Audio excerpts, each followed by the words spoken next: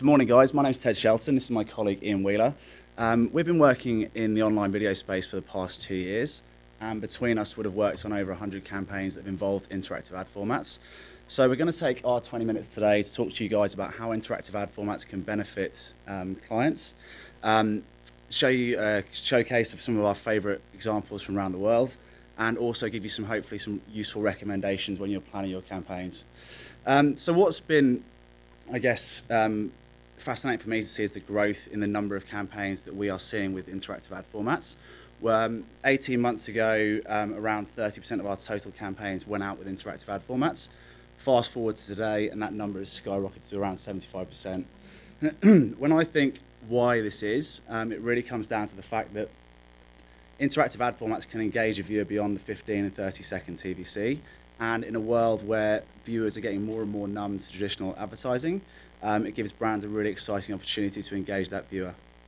I think we all agree that you know in today's market the, the current challenge that we're all facing is you know serving that right message to the, the right audience at that crucial time.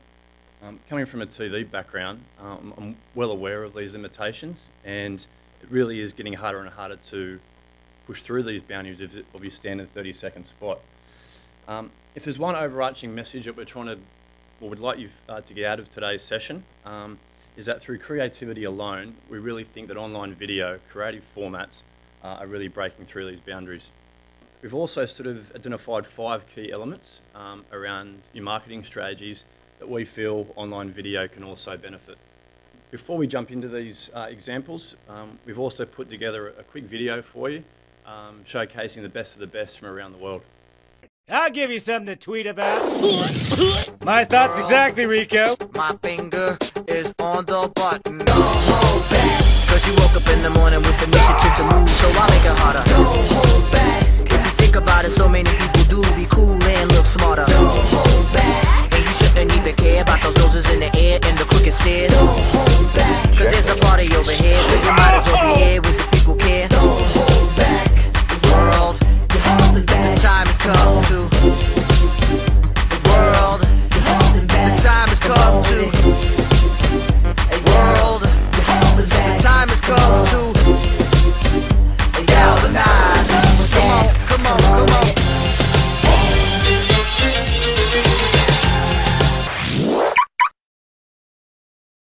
Grandma? The time has come to push the button. world. My finger is on the button. My finger is on the button. My finger is on the button. Push the button. Don't forget to share.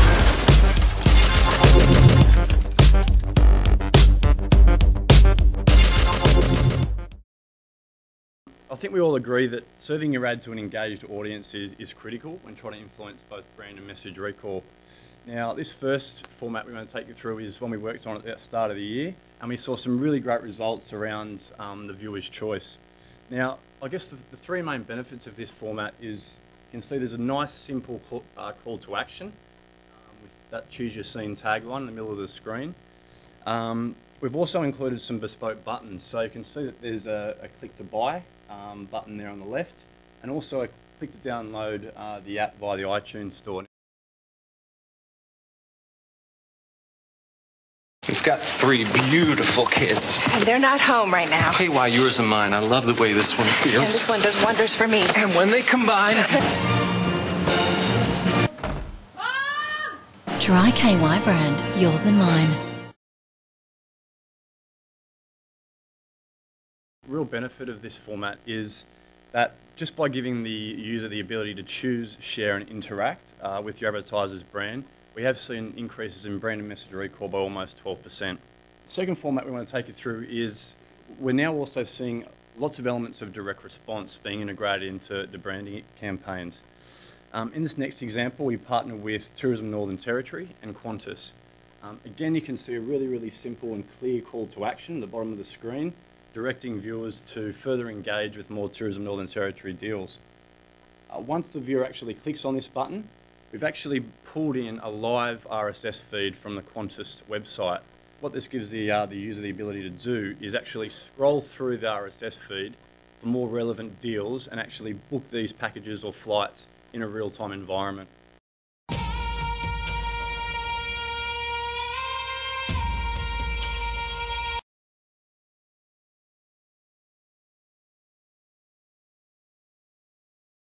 So again, I guess the, the main two benefits again in this in this format is we're now giving um, the viewer the ability to actually inter interact and then buy a, a, latest deal or package in that direct response environment.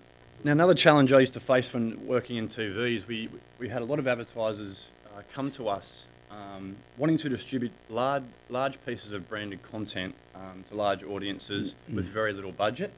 And this is one of our favourite formats that we've actually worked on. Um, and it's a lot like your hosted TV spot.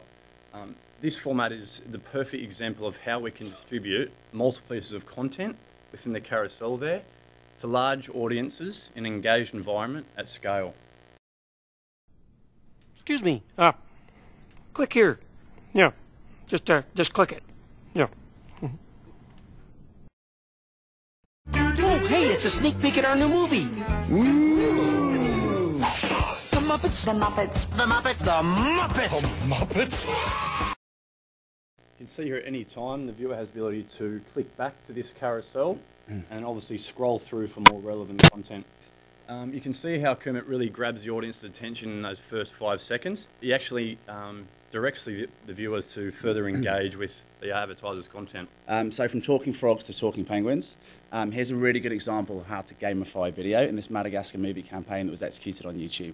Um, so Skipper, who for those of you who don't know is the leader of the penguins, actually addresses the YouTube audience and uh, actually tells them what to do within the first five seconds of the creative. They then click on the start button, and when they do that, they're actually taken to the YouTube um, channel where they can play an exclusive Madagascar 3 game. Hey there, YouTuber! I'll give you something to tweet about. My thoughts exactly, Rico.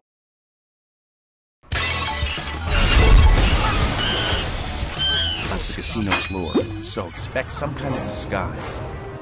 Why should you be a leader? Why, why not me? Maybe I should be in charge. No, man.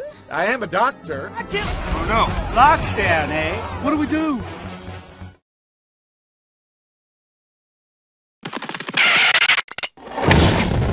So what this creates does really well is it actually addresses the audience within the first five seconds. Um, that's really good in the lean forward experience and actually tells the viewer what to do and captures their attention much like we saw with Kermit the Frog. Um, the second thing it really does well is it's a clear call to action so the viewer actually knows what to do and how to engage with the brand. Thirdly, it's fun. Um, it's actually a really fun game to go and play um, and it then encourages the person to stick with the brand longer and actually share that creative. So while we're on this topic of sharing, for better or for worse these days, social media is a part of everyday life and as such most marketing campaigns have some social element attached. Um, this is a campaign that ran for Huru, and what the campaign's done really well is actually allowed the viewer to engage with the brand across a, multiple different platforms. Um, so the viewer can actually choose then whether they're interested in, in liking the page on Facebook, whether they want to follow the photo stream on Instagram. They can actually engage with the brand socially on their terms. We're all travellers. All it takes is a blink at the world and we're off. We find that out of the way place. I guess um, the real benefit of including social hooks like Facebook and Twitter um, in a pre-roll campaign is that the viewer will be watching it on their laptop, their, their phone or their tablet and normally be logged into Facebook or Twitter so they can actually meaningfully engage socially with the brand when they see the pre-roll ad. Um, finally, we'd like to bring you an international example of one of my favourite pastimes, which is tea. This is a UK um, ad format that's run with Channel 4 on demand and actually shows an ad every time someone pauses their, their catch-up TV content. And just reminds the viewer that if they are pausing for a cup of tea, it really should be a Tetley's. I'm Simon, by the way. Hi, Simon. Sorry about those two. It's all right. I've got a younger brother, so I'm used to it. Well, actually, he's eight, so he's a bit more mature like, but you know.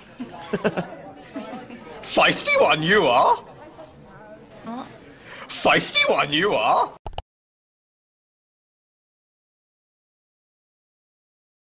Why are you talking like that? It was Yoda from Star Wars. It's the same impression I was doing on the coach for about an hour. Before Ted wraps up our session, uh, we thought we'd leave you with some recommendations or some, some must-dos um, when planning your next video campaign. The first one is define success. What does success look like for advertiser? Is interaction key? Uh, is there a social emphasis around sharing? Um, the second point is those first five seconds are key. And the third um, recommendation there is a clear call to action. Uh, your audience needs to be told how to interact in the most simplest of ways. I think we all agree that people get bored very easily, um, so your viewers shouldn't be searching. And finally, make it fun. Hopefully, throughout each of the examples that we've, we've taken you through today, um, there has been that element of fun through each format. Um, this is crucial in making the ad more memorable and ultimately creating that greater cut through in market. So, as discussed at the start of the presentation, one of the key challenges we have as marketers is to cut through the clutter.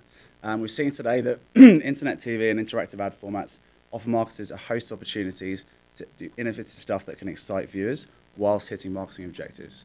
Um, for us, this is just the start, and with um, innovations in tablets, mobiles, and connected TV, we're all very excited about the future.